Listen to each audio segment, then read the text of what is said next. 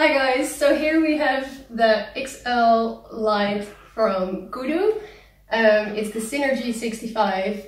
Inside you'll find an LED light, a wine cooler and a speaker. I just charged it, easy with this little charger here. You can easily turn it on by pushing the button down here.